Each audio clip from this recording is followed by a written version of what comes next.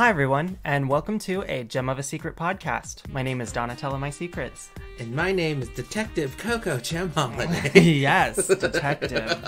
How are you doing tonight, Coco? oh gosh, I'm actually a little. By the way, I'm still doing sober October, and when this episode Yes, airs, me too. October. Um, so I'm doing very sober. Yeah, same, same. So very, so very aware I of am- myself. I yes, that very that very that. O- aware of how you cope with things sober, aware of all of the emotions um, that we normally suppress with either alcohol and or weed. Yes, exactly. It's funny how people have told me this month. They're like, because there's like negative drama happening in Portland, and Mm-hmm. um, people are like, "How are you dealing with that sober?" I'm like, responsibly. Seriously, it came up yesterday when I was at the bar. Yeah. like you do responsibly. Yeah, There's no other way to deal with it because Yeah. you have healthy coping mechanisms mm-hmm. because like you can tell yourself all your mantras like don't sweat the small stuff like remembering the you know the four agreements and Yeah. like just processing through trauma and things that are negative and then like before you post that Facebook post at 11:47 p.m. because you're drunk and you just want your feelings to be mm. heard. yeah. or you can just in a manic episode delete all your social media like I do and have everyone guessing about who you are and what you do. oh gosh, my mom's like, "Are they okay?" No, I'm still on Instagram, so follow Yeah. me there. You'll see my resin pours that I've been doing. I've been making resin jewelry. It's a lot of fun. I have been doing nothing artistic. uh, no, my job, my job is actually kicking my butt recently. I've Yeah. been all over the map recently, and um, drag is kind of coming back, not full swing, of course. Um, there, we even though we're not going to deliver the news here because it hasn't been announced publicly yet. Um, we went to a town hall about one of the bars that we work at to hear, Yes. um, hear some news, and it kind of changed the game a little bit. And and so we're just like we're just kind of going through those motions because like with me and Donna, we want to scale back from drag at the level that we're doing. Oh, I forgot to ask Donna, what are you wearing? Oh, I'm dressed up as like the scariest zombie I could think of. Um, it, Kellyanne Conway. I'm dressed as Kellyanne Conway. Oh, that's why the hair is so stringy. Yeah, very Yeah, I stringy. get Yeah. Like I it- added the lines yeah. onto my makeup tonight. sense. It poked me. Yeah, yeah. I have a teenage daughter that uh, really hates me and posts TikToks about how she's voting for Biden. Yeah, fair. Um, Gosh, so, wow, you really yeah. want to end on this concept. Yeah, yeah. I character studied. Um, I'm dressed as April O'Neil, the fat version from Teenage Mutant Ninja Turtles, but like the cartoon version, Oh. Uh-huh. not the one that Megan Fox played. That's Yeah. not really that didn't fit. Um, Yeah. with my concept. So yes, I am in like this yellow slash orange jumper, depending on whatever TV show you're watching or your TV quality. Yeah. Uh, and it does flash and change. I'm like the blue and green dress that was on the internet. Yeah, that's Oh, high fashion. yeah, high fashion, um, and Yeah. of course, um, I am just doing this wide swoop ponytail Uh-huh. just to mess with the kids because she never wore that. Damn, I feel so underdressed.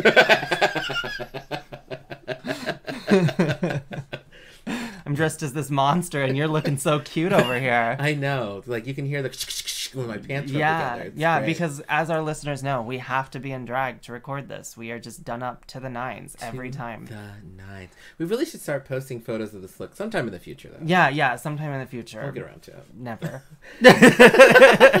So we're continuing on with our true crime series that we're doing for the month of Spooky Ooky Halloween. Uh, on top of the fact that if you haven't heard last week's episode, um, we're going to take literally one second pause so you can pause this episode. Then you can go listen to Donna's true crime podcast that she did last week. yes. hmm So we'll wait for you. Yeah, go listen. And We're back. Okay. Hello. okay, so Coco, I haven't I'm going into this completely blind like you did with mine last week. So, um let's get to telling the story. Okay, and I'm so um like we prefaced with Donna's episode last week. Remember that these stories are serious. Um, we are not trying to make light of them. I do giggle when I'm nervous. so, Yeah. Um, it's not that I'm laughing at tragedy. Um, Yeah. By any means, but so just um, so this is the part of the podcast where you know if you are sensitive to crimes against queer people and black people and things like that and i will Mm-hmm. go into details about some of the things because it adds to the story and the suspense of it um, Yeah. this would be the time for you to tune out Listener discretion is advised. Listener discretion is advised. Okay, so this is um, the case of the disappearance of Marco McMillian. Hmm. So our story takes place in Clarksdale, Mississippi. Um, Mississippi again. Yeah, I don't know what I don't know. In 2013, Mm-hmm. uh, Marco McMillian was a community-oriented young black man. Mm. Um, he was 34 years old, and I don't know why that's interesting to me, but I'm also 34 right now, listeners. Mm. So And community oriented. I know I don't know. I just I fell upon this case, by the way. Huh. so, um, though he um, did do the one thing that most openly out black men don't do, he was running for mayor. actually. Oh, okay. Um, but before that bid, he actually worked as the executive assistant to the president at Alabama A&M University and served as executive director of Phi Beta Sigma, which is the black fraternal organization headquarters, which allowed him access to the halls of Congress. Hmm. Um, Okay. Yeah, Dang. And he he even on his social media had a photo of President Obama and Bill Clinton. Dang. Yeah. Very accomplished. Yeah, just crazy. Um, yeah. I tried to actually find his social media, but I wasn't able to pick it up. I probably could have found it in like the Wayback Machine or something. Yeah. Um, I want to take note that he was the first openly gay man to be vi- a viable candidate for public office in Mississippi. Hmm. He was also the CEO of MWM and Associates, a firm that provided consulting to nonprofit organizations. So, just all around, just a really great person. Yeah. So, like most leaders, Marco thought it would be great to sign up for every civic organization he could get behind. Seriously looking at his resume, some notable ones were the NAACP and Community Bridge Builders. So, on the night of February 25th, 2013, at around 10 o'clock p.m., uh, Marco told his mother and stepfather that he was going to move some cars out of the driveway. Hmm. Um, but then, according to Marco's stepfather, Amos, Amos, I believe, around midnight, he noticed that Marco hadn't yet returned from something that should have only taken like any time at all. Yeah. Um, however, it turned out to not be as malicious as Marco's stepfather may have originally thought, though later he realized that he would never see Marco again. Hmm. Honestly, at this point, I can't blame him. He's 34. He doesn't really have to check in with his Yeah. parents when you think about it. Um, but it does it does seem odd that he was going to move cars and then just never return. Yeah. Yeah. So the next day, his mother, Patricia Unger, I believe her name is pronounced, a special ed teacher at the Quitman County School District, um, would get the notice that no parent would ever want to hear. Um, her son's car had been involved in an accident. Hmm. Um, but Marco was actually nowhere to be found. Hmm. Um, Lawrence Reed, 22 years old, who worked at a Domino's Pizza, was actually driving her son's SUV when it crashed, um, breaking his ribs and a collarbone and his collarbone. Hmm. But little did we know that at the at the time in the story, this accident wasn't like kind of all it appeared to be. Yeah. Lawrence was discovered by a friend at 8:20 in the morning on that day, even though they even though they couldn't quite figure out the exact chain of events. Mhm. Um, uh, this is kind of what led to like Lawrence being a person of interest. Interesting. Lawrence lived in a little more than half a mile away from Marco with his friend Camilla Evans and her partner Derek Crump. But Lawrence's connection to Marco just kind of wasn't known yet. Mm-hmm. And at this point, Patricia, his mom, was understandably distraught. Um, it was like really on the go. She wanted to find her son. Yeah. Point blank. Period. She didn't really Yeah. care about the car.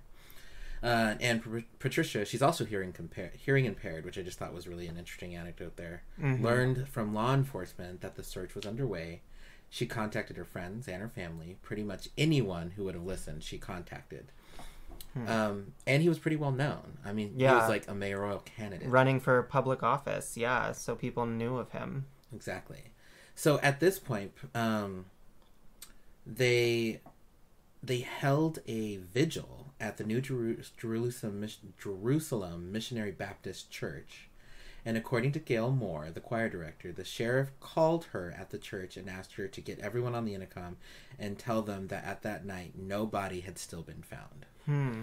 And at this point in the story, we like to remember that statistically speaking, we all know that the longer time someone goes missing, The more likely it is that you're going to be looking for a body and not a person. yeah, they're going to be looking for another person. And this person was 30, they're not a kid.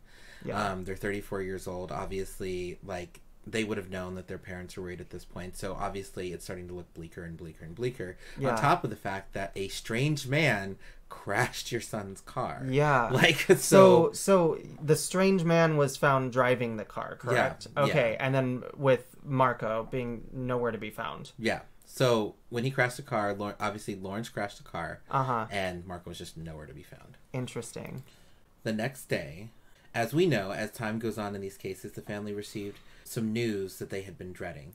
But at the time, the police were trying to keep them hopeful. Mm. So um, they actually decided to keep pushing the police to find more information to see what happened to their son. Mm-hmm.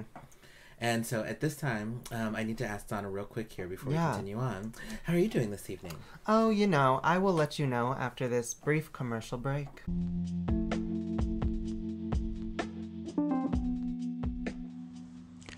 Hey, all you beauties, this is Manhattan Brown, Eugene's bearded lady, with a special message.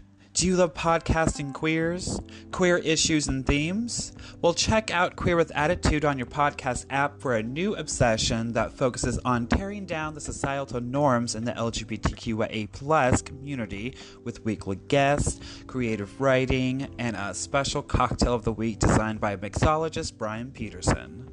You can find us on Spotify, iTunes, and other podcasting apps, or you can check us out at anchor.fm backslash queer with attitude to see where to find us and to become a monthly sponsor. Join the queer revolution to educate, create, and inspire. It's a podcast with Coco and Donatella podcast. Tune into what they tell you podcast Check it out. with Coco and Donatella podcast. Check it out. Well, Coco, I am extremely intrigued because we have a very strange set of circumstances for this case. Um, a stranger driving this woman's car, and um, the son being completely missing. Yeah. And let alone the son being a public figure. Yeah. Um, let's get into it and figure out where it goes from here. Yeah. So the next day, and as we know, as time goes on with these cases, um, the family received the news that they were dreading. Yeah. Marco's body had been found, and police indicated that they recovered the body next to a levee between the communities of Sher- Sherard and Rena Lara. Sorry if I pronounced those wrong, listeners. And the spot was completely isolated. A steep embankment of pasture dropped down to the barbed wire fence that went along the water, and right there is where the body was found underneath the wire. According to the Washington Post, Coahoma County medical examiner Scotty Meredith went to see Patricia at her house to have her identify her son. Scotty said, um, Scotty kind of relayed this information that Marco's body showed evidence of burn marks, bruising, and being dragged. Hmm. And this immediately takes me back to one of those famous cases, um, like back in the day when you would hear about like black men being drugged behind cars and stuff like that. Yeah. And like for miles at a time. And that's when I first read that, that's immediately what I was brought to. I was like, oh, I wonder if it was one of those hate crimes. What if it was like, and the thing is, there is an intersection even in the awfulness of being black and queer. Like, I sometimes joke with my friends where I'm like, is, it, does this person hate me because I'm black or do they hate me because I'm queer? We gotta figure Yeah. it out. You know? Yeah. Um, as with any case, but especially a high profile case like this, the family became increasingly impatient and wanted, as would anyone who would want to know what happened to a member of their family. But um, they weren't the only ones. Like, can you imagine the first openly out black man who was running for public office? This case was getting lots and lots of media attention Yeah. because of it.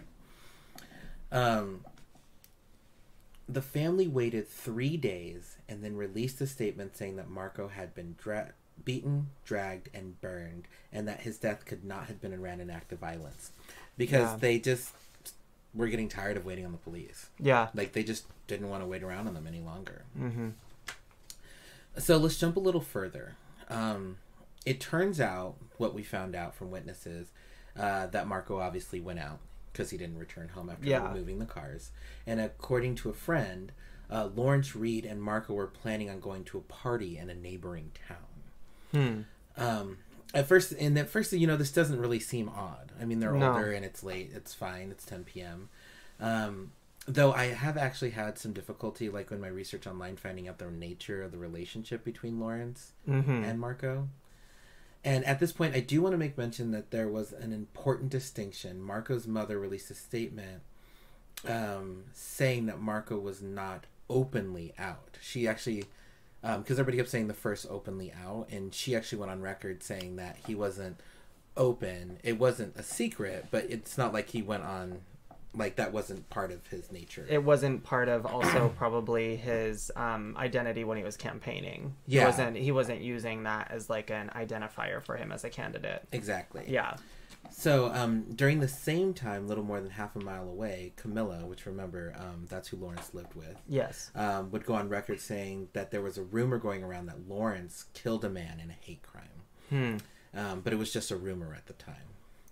Um, so, according to the Washington Post article, uh, Scotty Meredith, remember the medical examiner, said the allegations were blown blown way out of proportion.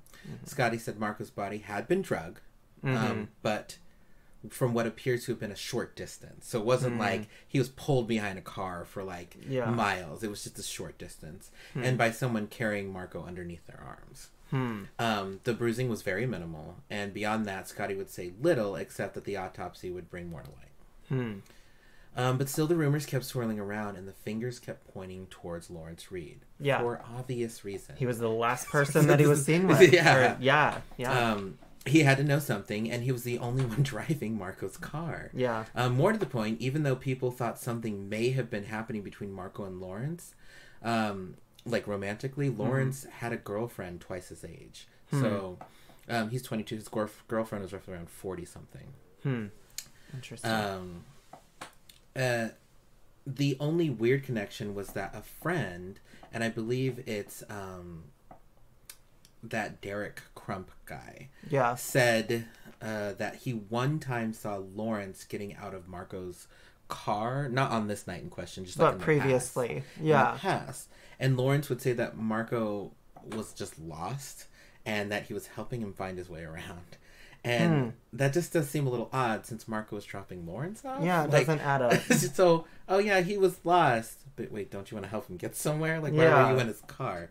That doesn't make any sense. Um, so officially, peace, police would identify Lawrence as a person of interest, obviously, Mhm. and person of interest. And I just want to clarify for our readers who are not into true crime, like me and Donna tend to be. Mm-hmm. A person of interest is a term used by the U.S. law enforcement when identifying someone involved in a crime investigation Mhm. who has not been arrested or formally accused of a crime. Mhm. Now, and that's just an important distinction because it didn't mean at this point that Lawrence um, was guilty in any capacity. Just Yeah. they were looking at him. Literally, it, it means what it means. It's Yes. just the person who they're interested in. Um, but of course, Lawrence would later be arrested. Mhm. Rumors were swirling in Clarksville, Mississippi, that Lawrence and Marco may have actually been in a DL relationship. Uh, Donna, do you want to explain to the kids what a DL Yes, relationship is? DL stands for down low, and that's basically uh, someone who is closeted and hiding or concealing the fact that they have same-sex attraction and same-sex relations. Yeah. And so, and it's actually very common in black communities for DL relationships to exist, Mhm. especially in smaller cities and in smaller communities and towns. Um, and it's, and I know some of you out there, our listeners, are probably like, but he had, but Lawrence had a girlfriend.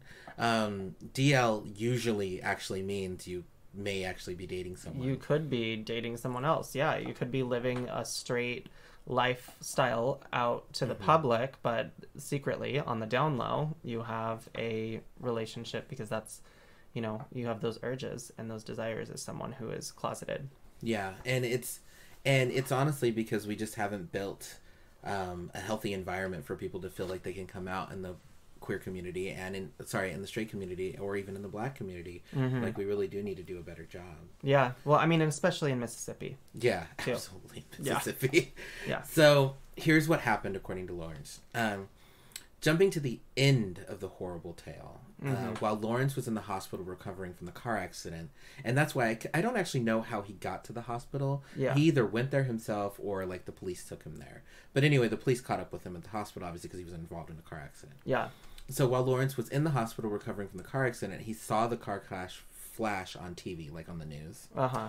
And he knew it was only a matter of time before he was caught. Yeah. Uh, the sheriff's deputy, Joseph Wild, um, that was watching Lawrence, took his confession. According to Lawrence, um, at this time in the hospital, he strangled Marco with a wallet chain and then tossed him in the back of the SUV. He heard Marco begin to come to and he panicked.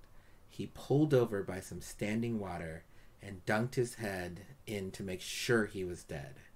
At this time, Lawrence put Marco back in the vehicle and headed back towards Clarksdale, is what he um, confessed to the officer, who read him who read him his rights and everything. Mm-hmm. Um, but before this, though, um, before all of this happened, they were seen um, on a video camera together at a convenience store. Okay. So there was proof that they were together at Yeah. the specific time. yeah. And as the story begins to unfold, more information came to light. Apparently, while Marco and Lawrence were driving to a party in Quitman County, Marco drove down a rural road. During this time, the two proceeded to smoke marijuana and consume alcohol. Hmm. Lawrence stated that Marco watched pornographic material on his phone and masturbated. Marco then asked Lawrence what he did sexually with his lady partners. Mm-hmm. Uh, Marco allegedly made a pass at Lawrence, or as Lawrence would later say, Marco tried to rape him. In court, Lawrence would claim self defense, saying that Marco made sexual advances after driving him down a dark, deserted road.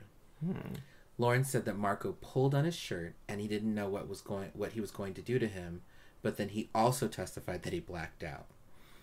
Lawrence said he blacked out before um, blacked out from fear and anger over Mark, Marco's sexual advances. Um, he quoted him saying, "I don't know where or how I grabbed the chain." Lawrence testified. Hmm. Um, he said his intent was just to hit him. In a recorded confession, Lawrence told investigators that he thought Marco was still alive, so he pushed his face into standing water. Lawrence would call his girlfriend Dampier, which is a weird name. Um, Hmm. Sounds t- Cajun. it sounds, yeah, it does actually. Yeah. And tell her that he he told his girlfriend that he killed Marco. He told her on the phone. Hmm. Uh, Lawrence would then drive home to change, then buy gas at a gas station. Lawrence would then try and burn Marco's phone, um, but he couldn't. Uh, uh, so he couldn't be found. So Marco couldn't be found. Then Lawrence drove even further to an isolated area. Lawrence would then pour gasoline on Marco's body and set him on fire. Hmm. Lawrence would then go to his girlfriend's house and was told to leave twice. And when he left the second time is when he got into the car accident. Hmm. So let's actually recount what happened. Yeah. Yeah. Definitely. So Lawrence and Marco were going to a party. uh huh. Um, they went to a gas station where they were caught on camera, or a convenience store where they're caught on camera. Marco would then drive them to a secluded area. Mm-hmm. Marco would show Lawrence porn on his phone and ask him what he was into. Lawrence would freak out and strangle Marco with his wallet chain. Lawrence would then begin to drive away in Marco's car, but r- after realizing that Marco was still alive, he would then pull him over to drown him. From there, Lawrence would go home to change. He did. He went home to change after drowning him. Hmm. Um, he went to change to get all like to get everything off of him as quickly as possible. And with a dead Marco in the back of the car, he would stop by a convenience store to buy gasoline so he could burn the phone. Yeah. Originally, is what his intent was. He would then burn the um, phone, but when that wouldn't work, he actually chucked the phone out the window. Hmm. Then he figured he would try to burn the body, and the body didn't fully ignite. Um, Yeah. He expected it to obviously. I don't know what he was expecting, but he lit him on fire, but it just went out. Yeah. And so he hid the body underneath some wire. Hmm. Is kind of the chain of events that happens. Someone who obviously, you know, this was something that they didn't have experience in, and it was something that happened very quickly, and he panicked. You know, it's it's not someone that uh, you know did this out of no having prior knowledge of what to do when Right. they're in a situation like that. So Well, and what's interesting about this, and you can automatically see where this is going before I finish the story, but like he testified in court, like he blacked out from rage and Yeah. fear, thinking that this person was going to rape him. yeah, Um, and um, he even said, like, I don't even know I was just grabbing my wallet to strangle him. I think what's interesting about this for the gay panic defense in general Mhm. is that there were so many opportunities um, for it to have not gotten as bad as it did. Yeah. So I know, like, let's play devil's advocate here in a way that's not necessarily ever comfortable for a true crime story, but I want to make a point about this. There is a point. So say he remember he strangled him, and it turned out that Marco was still alive. Yeah. Um, toxic masculinity dictates, and everybody's wondering, well, if he was still alive and he did try to rape you, why wouldn't you have like driven to the police station, or why wouldn't you have like you strangled him and he's passed out? Why wouldn't you run away? Or and I know they were on a rural road or whatever, so like the actions in someone's brain, like playing devil's advocate, because no one knows what happened in that car. Yeah. no one knows Yeah. um, uh, because they burned Marco's phone and got away. with it. So you can't even see if Marco was looking at like because you could even pulled up the porn Yeah. on Marco's phone to see if that was something that was happening, or was Lawrence really on the DL? Yeah. and it was just like a love interest gone wrong, Yeah. um, stuff like that. So you don't know, and so. Why wouldn't he have drove to the police station and say that this person tried to rape me? And the only thing I could think of is that in like toxic masculinity dictates that we're not allowed to por- report rape even Yeah. if it's coming from another man Yeah. which is a true case there in the sense of like fear yeah. um it just it's so but killing a person because you're too afraid to report them trying to rape you is also way too far Yeah. way way too far Yeah, it definitely like I don't know. It it definitely was him panicking and him reacting out of violence. With both this case and the case that I talked about, both um, perpetrators talked about how they blacked out before they did what they did. Yeah. And all of a sudden they came to and, and they were faced with a body. You know? So and we found out in the case that I talked about that the panic defense he was trying to claim was completely false. Right. So um Well, and what's interesting about that is he called like in one of the cases that I read recently, um, like it seems like with the gay panic defense, they tend to tell someone. yeah. They tell someone that they murdered someone. That they- he called yeah. his girlfriend and told Yeah. them that he murdered someone. Yeah, I mean, with uh, one detail I left out of the case that I was talking about is his is the guy's brother saw him after he had killed um, her, and uh, asked him like what's going on, and he just said it's not good. Don't ask me any more questions about it. Yikes! So I mean, essentially, his brother and father had known that something had happened on his property, but um, there was you know he couldn't really hide it because of the evidence that was on him. Yikes! Um, yeah, it's it's it's yeah, it's a it's a really disgusting and horrible topic, and we'll talk a little bit more about it in a second. yeah. So on Wednesday, February twenty seventh, twenty thirteen, police reports police reports corroborated that story, showing that he was strangled to death by a wallet chain. Yeah. Lawrence claimed that he didn't initially plan to try to burn Marco's body, saying he bought ninety four cents worth of gasoline to burn the cell phone, and fearing authorities would track the phone to find him. Yeah. Um, prosecutors would say uh, that Marco didn't attack Lawrence. Um, and eventually, uh, Lawrence was charged with the murder of Marco. Yeah. Um, and then on March twelfth, 2015, Lawrence was found guilty of the murder of Marco McMillian and sentenced to life imprisonment in the custody of the Mississippi Department of Corrections. And of course, he did appeal his decisions, and I'm not quite sure where those are at today.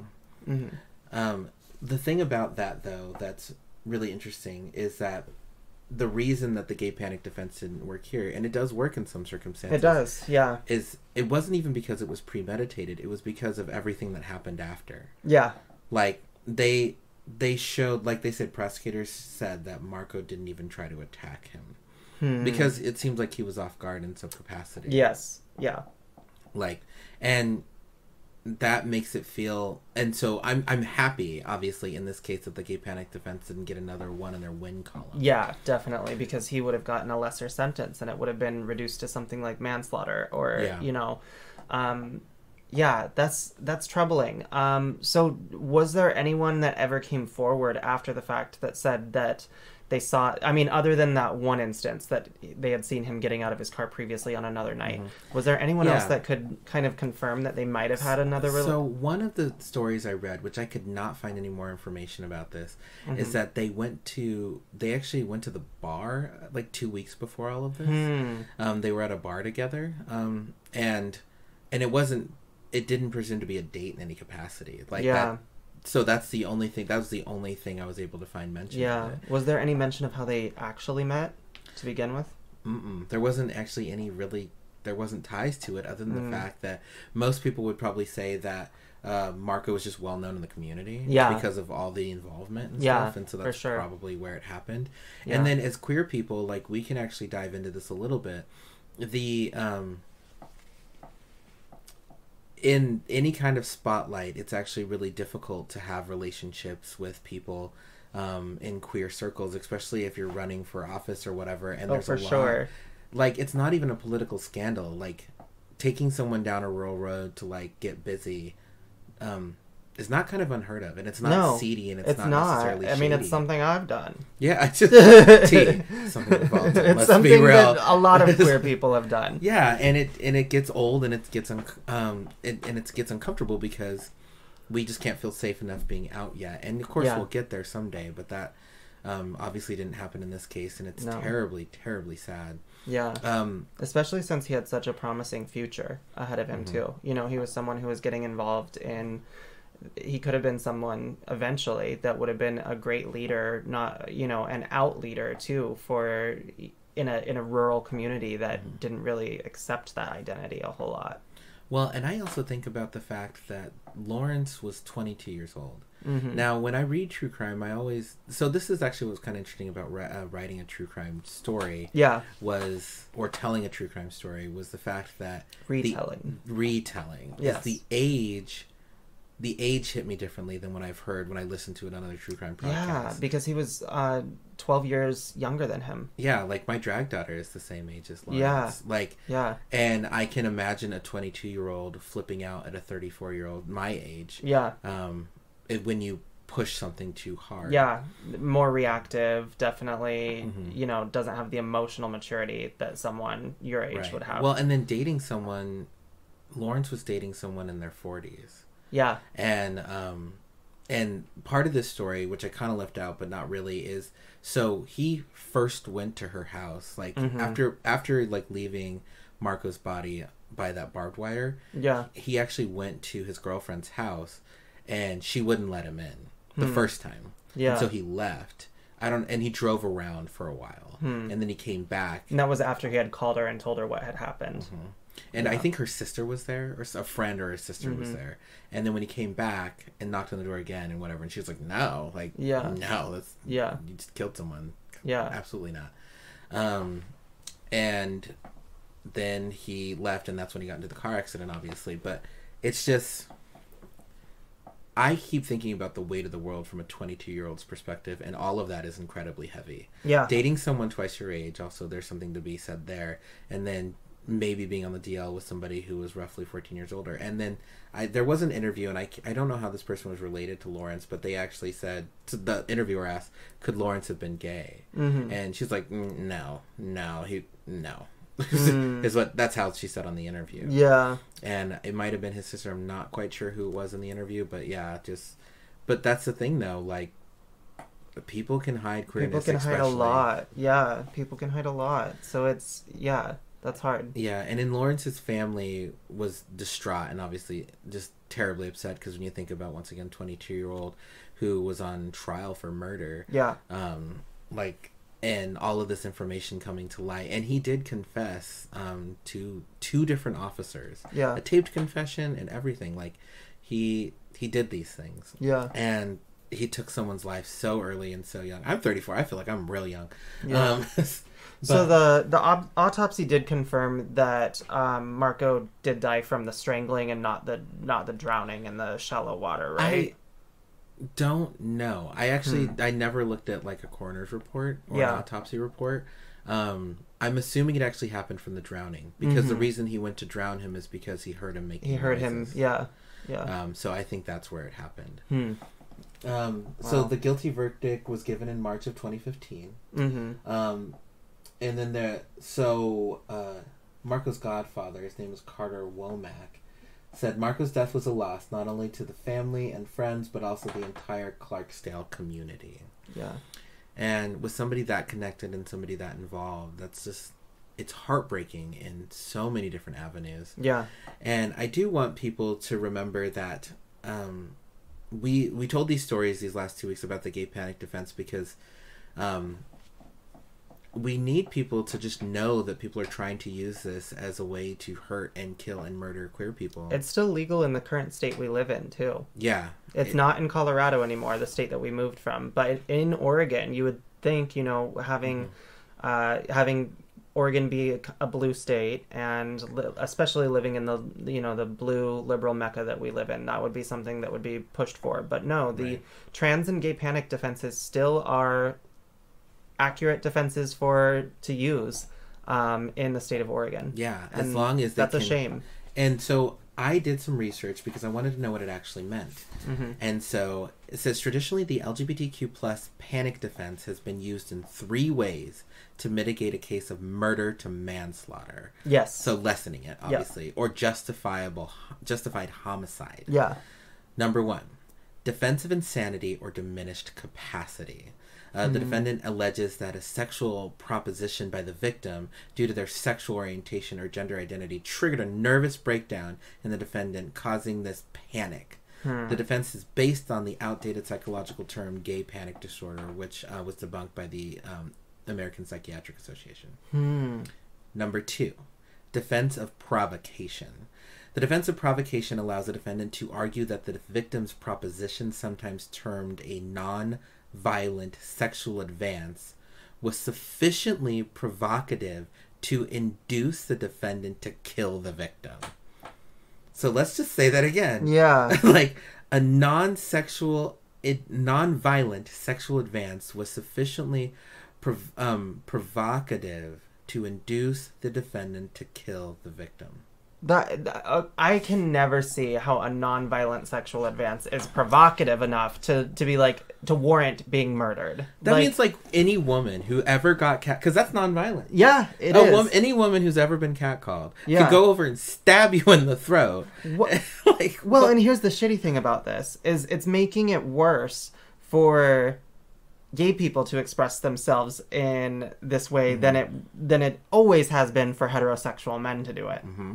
So if a gay person is to act on on who they find attractive and and make Mm-hmm. an advance that isn't violent, you know, like that's saying I mean it's it's making it more perverted. It is. It's, It's- making it because it, it does. It's a um, on its own, it's not illegal or harmful, but it's only considered provocative when it comes from an LGBTQ plus individual. Gosh, it's a very archaic defense when you look at it in this way. Yeah, and Yeah. so the third and final is defense of self-defense. Yeah. Defendants claim they believed that the victim, because of their sexual orientation or gender identity or expression, was about to cause the defendant serious bodily harm. This defense is off. Um, this defense is offensive and harmful because it argues that a person's gender or sexual identity makes them more of a threat to a uh, threat to safety. It almost weaponizes them. It weaponizes your sexual orientation as a Yeah. threat to safety.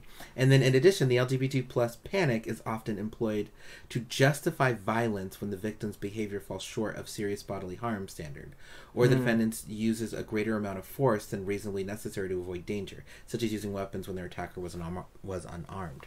Hmm. So thinking about it this way, what this is actually, like Donna's right, but what it's actually saying bare bones is um your sexual orientation is such a threat because remember there are times when somebody uses physical force and can get off Yeah. when they're like did you feel like you were threatened Yeah. well yeah like um he had a knife and even though he seemed like he was joking i thought he might hurt me i pushed him he fell down the stairs he broke his neck yeah. like and they're like oh yeah i saw the camera like he was holding it up um, even though he was laughing it kind of i could see how you felt like you were threatened Yeah. they're literally saying that the guy holding the knife is equates to sexual orientation Yeah. existing in the world Yeah. Like i felt so threatened by the fact that this person was gay that i pushed them down the stairs and they broke their neck I Yeah.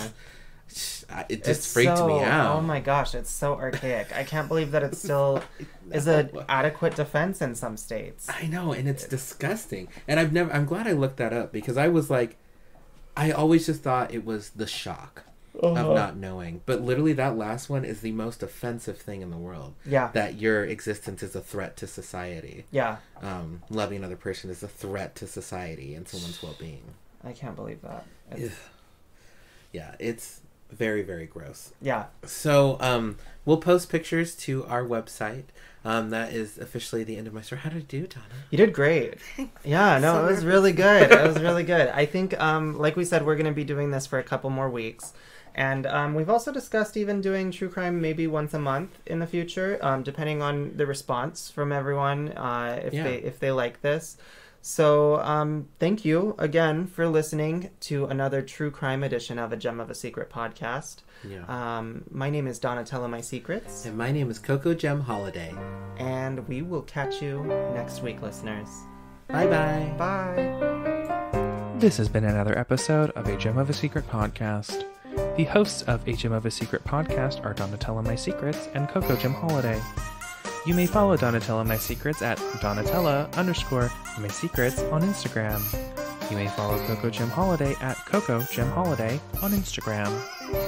Original music by Touche Douche and Party Favors. You can follow them respectively at The Touche Douche and at Party Favors Music on Instagram. For more exclusive content, visit www.ajemofasecretpodcast.com.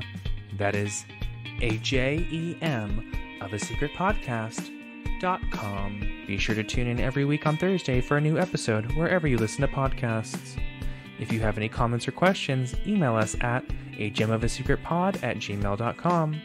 Please don't forget to like, rate, and subscribe. Until next time, goodbye.